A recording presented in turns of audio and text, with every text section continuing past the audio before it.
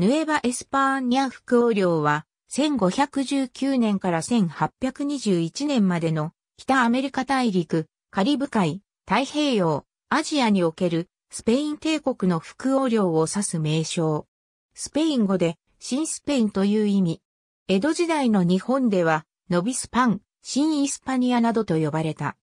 ヌエバ・エスパーニャは、1521年にスペインとメソアメリカの仲間によるアステカ帝国の征服が完了した際に設立された。アメリカ大陸に設立された4つのスペイン副王領の中で最初に設立された。その領土はメキシコ、中央アメリカ、アメリカ合衆国の南西部、中部、及びフロリダ、そしてフィリピン、マリアナ諸島及びカロリン諸島に渡った。1635年以降は、スペイン王によって任命されるヌエバ・エスパーニャ副王が統治者する植民地となった。首都はメキシコシティ。こうしてスペインによってヨーロッパ、アメリカ、アジアを結ぶ広大な貿易網が確立された。これらの地域にはローマカトリックが強制的に布教された。インディアンの反乱やイギリスやフランス、アメリカなどの列強によって一部領土が奪われることがあったものの、メキシコを中心とする、そのほとんどの領土はメキシコ独立まで保たれた。1821年にメキシコ帝国が独立し、ヌエバ・エスパーニャは解散された。スペイン人によってまずはカリブ海の島々に植民都市が形成された。これらの都市はアメリカ大陸征服の拠点とされた。1521年にアステカ帝国の征服が完了すると、中央メキシコではアステカの首都テノチティトランがヌエバ・エスパーニャの主要な入植地に転換され、メキシコはスペインのアメリカ大陸植民活動の重要な拠点であり続けた。初期のヌエバ・エスパーニャのスペイン系入植都市は次のようなものがあるスペイン人による小さな港町ベラクルスとメキシコシティの間にはプエブラデロスアンヘレスやコリマが設立された。メキシコシティの北ではケレタロが設立され、バヒーオと呼ばれた広大な農地となった。メキシコ市の北西にグアダラハラが設立され、この地域の主要なスペイン系都市となった。メキシコシティの西にはバレデリードが設立された。メキシコシティの南ではアンテケラがオアハカの中心となった。サンティアゴでグアテマラメリダ、カリブ海の小さな港としてカンペチェがユカタンに設立された。カンペチェとベラクルスの間には海上貿易が行われていた。副王領が設立されるまでの最初の20年間、いくつかの現在でも重要な位置を占める都市が設立された。北のサカテカスは後に銀鉱で栄えた。ここは獰猛な遊牧民のチチメカ族のエリアであり、チチメカ戦争などのスペイン人との争いが起こった。1532年にインカ帝国を征服した後、広大な南アメリカへのさらなる遠征活動が始まった。1540年にヌエバ・エスパーニャに次ぐ第2の副王領であるペルー副王領が設立された。南アメリカ植民地化はさらに拡大し、ヌエバグラナダ副王領、リオデラプラタ副王領も後に設立された。16世紀を通して中央、アメリカ及び北、アメリカに数々のスペイン人の町が建設された。1568年から1587年の間にスペインは現在のアメリカ合衆国南部のジョージアやサウスカロライナへのキリスト教宣教活動を行っている。これは現在のフロリダでは一部成功し、セントオーガスティンが設立された。これは、現在のアメリカ合衆国の中では、ヨーロッパ人によって最も古くに設立された町である。さらに領土を拡大するため、フランシスコ・バスケス・デコロなどによるアメリカ合衆国南西部の探検、フアン・ロドリゲス・カブリリョによる太平洋岸の探検、そしてルイ・ロペス・デ・ビラ・ロボスによるスペイン領東インドの探検が行われた。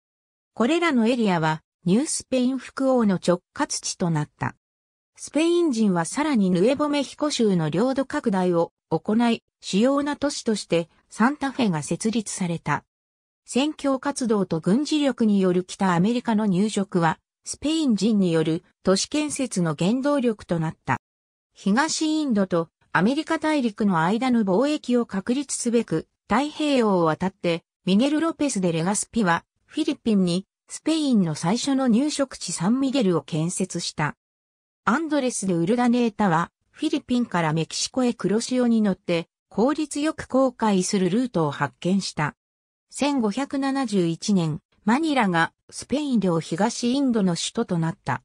こうしてマニラ・アカプルコガレ温泉によるアメリカとアジアの貿易が始まった主な貿易品は絹、香辛料、金、銀、陶器などであった。フィリピンはヌエバ・エスパーニャの中で一つの行政区画、フィリピン総督領となった。アジアからの貿易品は太平洋を渡り、アカプルコに送られ、そして陸路でベラクルスへインディアス艦隊によって大西洋を渡り、スペイン本国へ送られた。17世紀になると、フランスやイギリスがスペインに遅れて、北、アメリカに入植地を建設し始めた。1776年には、東海岸のイギリスの13植民地がアメリカ合衆国として独立し誕生する。こうして18世紀になると、カリブ海の島々、現在のアメリカ合衆国南西部、フロリダ、ネブラスカ、ルイジアナなどの領土をめぐって、これら強国の間で争いが起きる。フレンチ・インディアン戦争では、イギリスがスペインよりマニラとバハマを奪った。この戦争の結果、領土を取り決める1763年のパリ条約では、スペインはルイジアナの西半分を得て、ヌエバ・エスパーニャは北アメリカのミシシッピ川から太平洋に至る領土を保有した。しかし、この時、イギリスが奪ったマニラとバハマの返還と引き換えに、イギリスはスペインよりフロリダを得た。アメリカ独立戦争時には、イギリス軍とアメリカ軍の戦闘の隙をついて、セントルイスや最北では、ミシガンのナイルズまでを探索した。この戦争の結果、領土を取り決める1783年のパリ条約でフロリダはスペインに返還された。1769年より21度のアメリカ北方への遠征活動がカリフォルニアのエルカミーノレアル沿いで行われた。ヌエバ・エスパーニャは北アメリカ西海岸の全領土を主張しており、この地域でのイギリスとロシアとの衝突が始まった。ロシアは18世紀半ばよりアラスカで毛皮交易を始めており、イギリスもジェームズ・クック船長が太平洋を探検して以来、西海岸で毛皮交易を始めるようになっていた。西海岸からロシアとイギリスの勢力を追い払うため、1774年と1793年にスペインはメキシコから多くの戦力を投入し、アメリカ北西部の遠征を行った。これによって、スペインが長らく主張し続けていた西海岸の航海権が強化され、バンクーバー島フレンドリー後部に、鳥で、フォートサンミュゲルと入植地サンタクルスデヌカが建設された。これはヨーロッパ人による初めてのブリティッシュコロンビアへの入植であり、スペイン人による最初で最後のカナダへの入植であった。18世紀のスペインによる西海岸の領土の主張。サンタクルスデヌカは1795年に第三次ヌートカ協定によって放棄されることとなった。サンタクルスデヌカに代わる新しい全焼基地がファンデフカ海峡の南側のニーヤ湾に一部建設された。これは1792年に完成を見ることなく放棄された。そこに駐在した人々、家畜、兵器などは入荷へ移送された。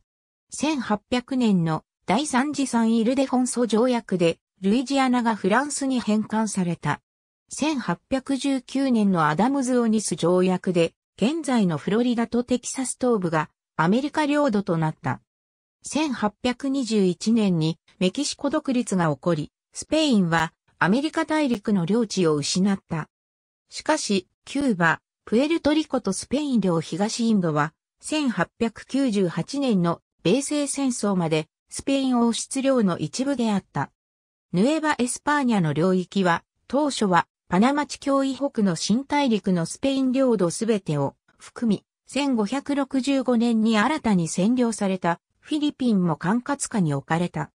北の境界はブリティッシュコロンビア州とアラスカ州までを主張した。歴史的にヌエバ・エスパーニャ副王領の領域であった地域は以下の通り。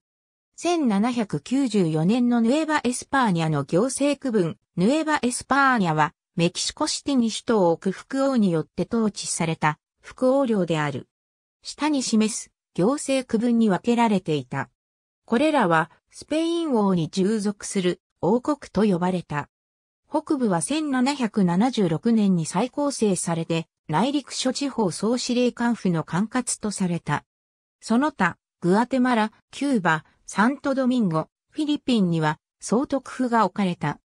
北部の辺地には独立した州が設置されたが、ブルボン改革によって再構成された。統治体制は秀でていたものの、実際には、副王の権限の行使は、海区分の総督やアウディエンシアの独立性に阻まれ、副王の権限は大まかに、メキシコの中部と南部、北はサンルイスポート市から、南はテワンテペク地境までに限定された。ありがとうございます。